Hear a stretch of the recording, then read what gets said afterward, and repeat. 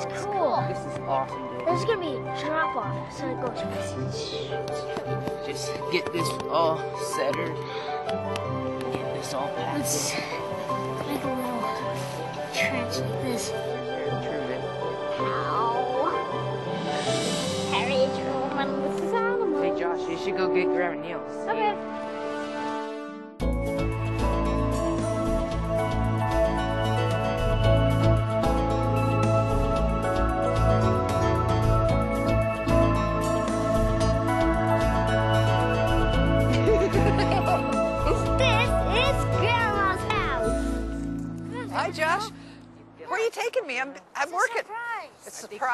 What have you guys been doing?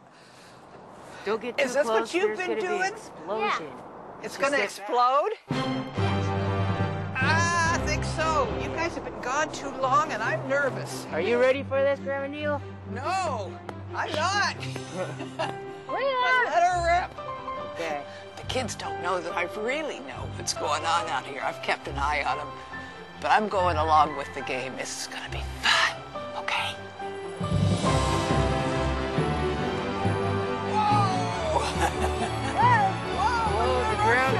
Oh, yeah, we're That ain't nothing yet. We still have a grand finale. then I'm going to go back behind the tree. That might be a good idea. Five, four, three, two, one.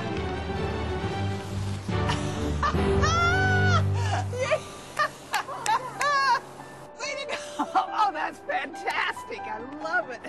Oh. That was a magnificent explosion. You think it's safe to come out now?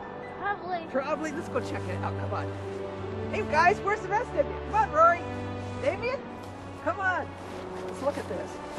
You guys did such a good job. I love it. And look, it's still smoldering. Yeah. and there's Harry Truman down there. He's all covered up, too. This was so realistic. Makes me want to go up the mountain again. Have you been up there recently? No. We ought to go, don't you think?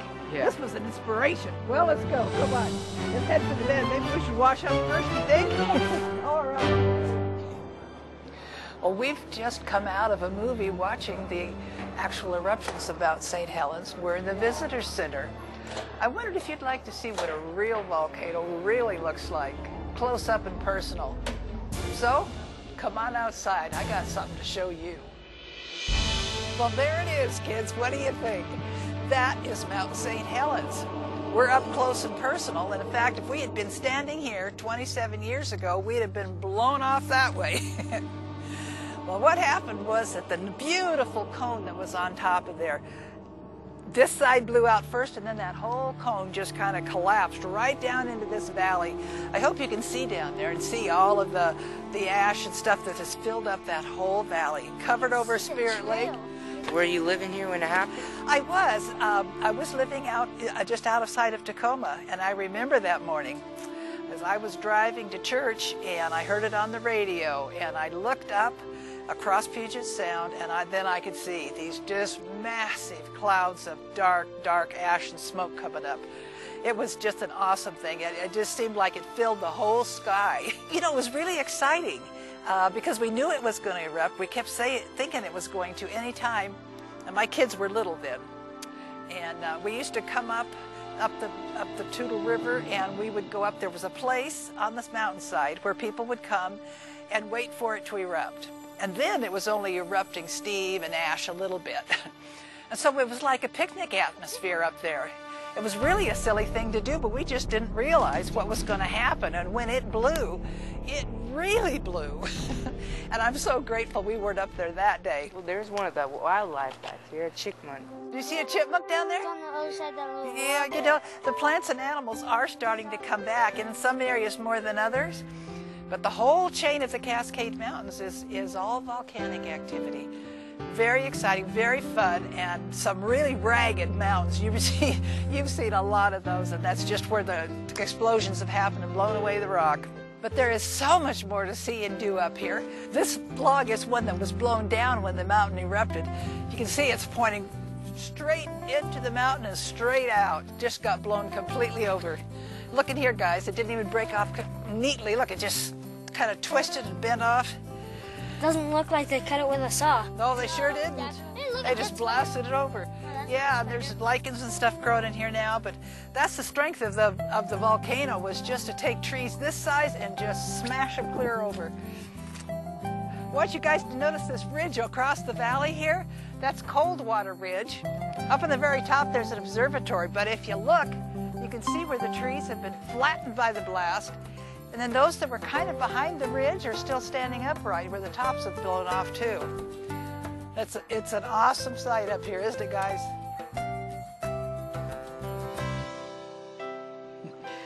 This beautiful little area is called Coldwater Lake. And believe me, that water is cold. You can check out the boys' legs, they're turning blue. it is cold, isn't it, Rory? Yeah. This little lake wasn't here before the eruption. Formed after the eruption, and, and the bottom of the valley got dammed up with all the mud and silt. And then the rainwater started to gather here and made this beautiful little lake. Before the mountain erupted, there was another lake, though, called Spirit Lake, just over the way a piece. It was a beautiful resort area. That's where Harry Truman lived. And I'll tell you more about Harry Truman later. But uh, it was just beautiful, heavily forested, a beautiful little lodge there. Then, when the mountain blew, the whole side of the mountain went down into the valley and covered that all up. There is a tiny bit of Spirit Lake left, but it's all full of logs that look like toothpicks all shoved to the end of the, of the pond. the waves, when the, when the uh, eruption happened, the waves that went up the side of that valley were 800 feet high. That is just unimaginable. It, uh, that would have been something to see that wall of water coming at you. But it created another beautiful little spot, and I'm glad we're here to enjoy this one. there are some more spots on around the lake I'd like to show you if you want to come. Come on, Rory, let's go. Let's take a look around the lake a bit. See, right up in there, you can see the volcano. Look. Yeah. Oh, you're Yeah. just up there on the other side of that ridge. It's starting to steam more than It we saw it. Yeah. Oh, look at it. Isn't it pretty?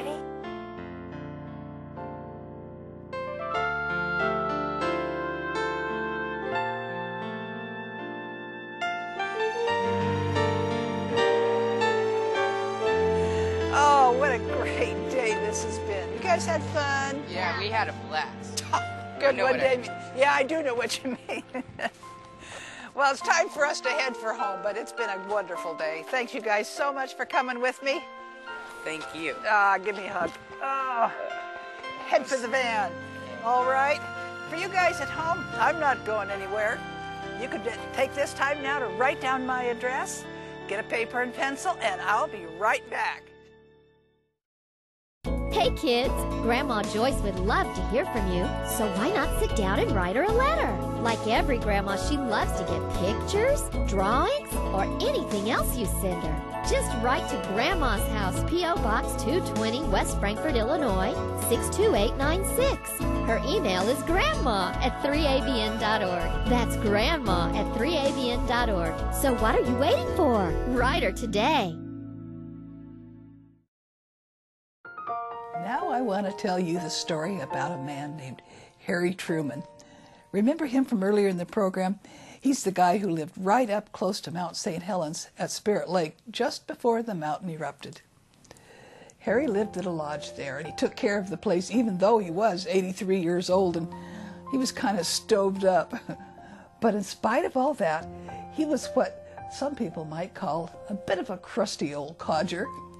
That meant he still had some pretty strong opinions of his own, and he didn't mind sharing them with everybody around.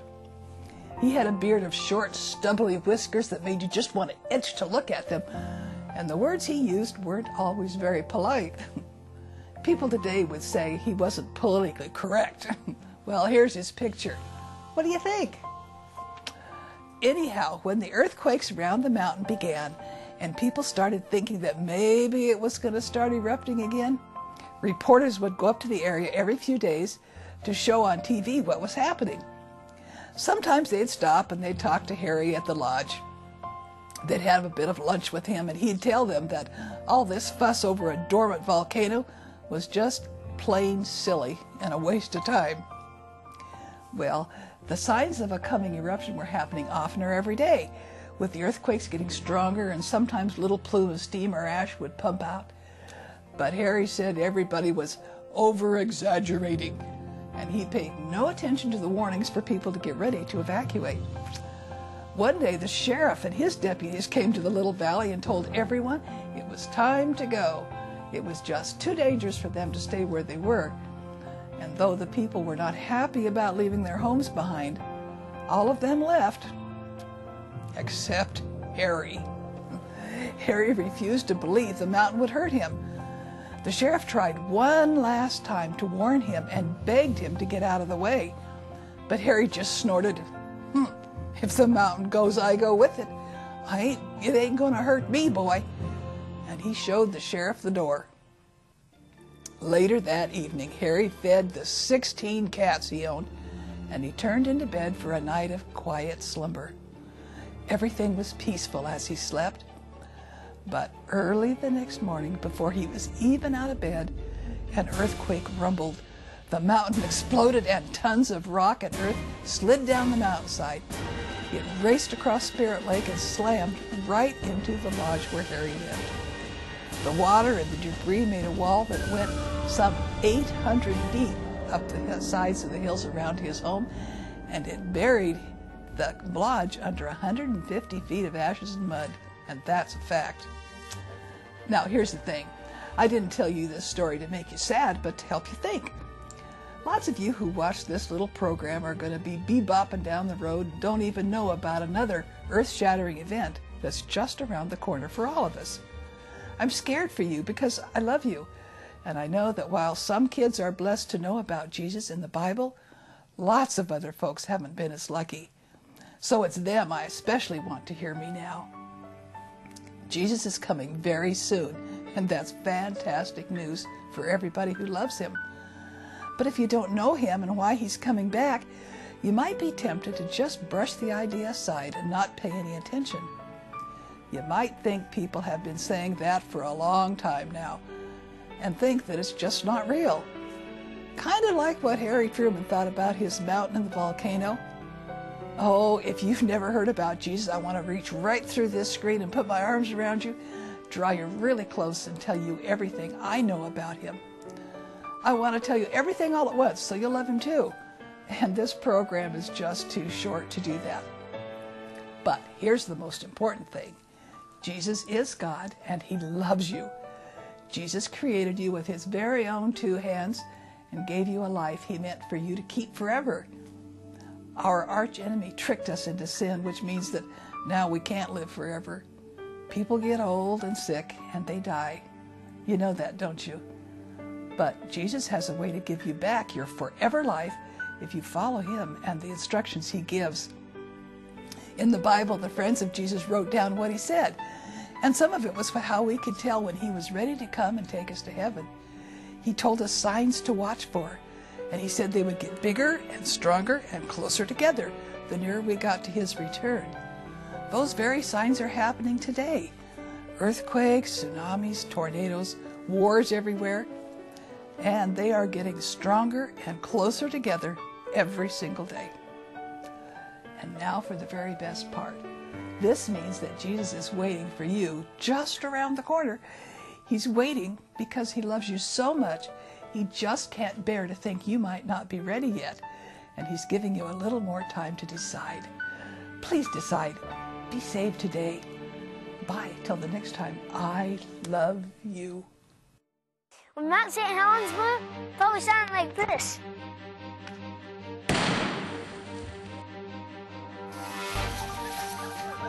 Boys and girls, don't try this at home. Okay, this experiment uh, seemed proved rather successful. As you can see, there's uh, no more volcano left. Kids, do not try this at home. I think I'll plug my ears.